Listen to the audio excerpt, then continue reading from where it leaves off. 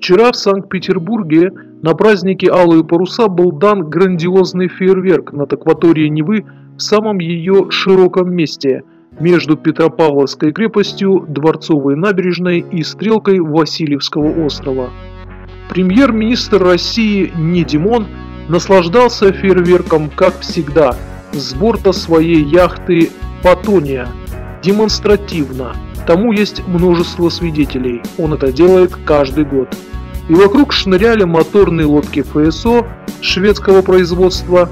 Для Недимона светлое от белых ночей питерское небо зажигалось миллионами разноцветных огней и блесток, а в клубах дыма от фейерверка играли лучи лазерного шоу. Недимон радовался и хлопал в ладоши. Жизнь в очередной раз удалась. Для Алексея Навального, Леонида Волкова и Ильи Яшина – Вчера небо было другим, в клеточку в тюремной камере. Ворует не Димон, а в тюрьме сидят они. Алексея Навального арестовали даже не при выходе из его дома 12 июня, а при выходе из лифта в подъезде его дома за организацию неразрешенного в кавычках митинга.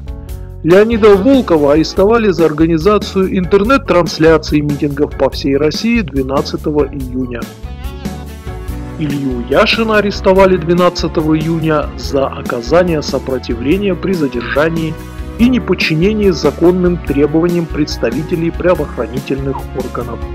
К нему подошли люди в форме и сказали «Гражданин Яшин, пройдемте, нам необходимо установить вашу личность».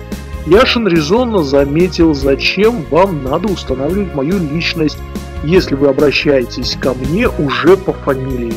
В следующий момент его волокут в автозак, руки скручены за спиной, голову пригибают вниз. Судья смотрит видеозапись задержания, смеется в лицо и выносит приговор «Тюрьма столько-то суток». Команда Навального открыла более 50 предвыборных штабов по всей стране, привлекла сотни тысяч волонтеров, располагает полумиллионными подписями за выдвижение Алексея в качестве кандидата в президенты. И тем не менее по всей стране не происходит ровным счетом ничего.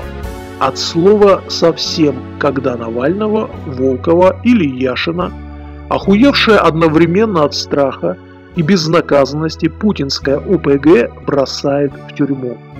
Ани Димон опять наслаждается фейерверком с борта Фатинии в акватории Невы, а Путин втирает о приоритете патриотизма над образованием.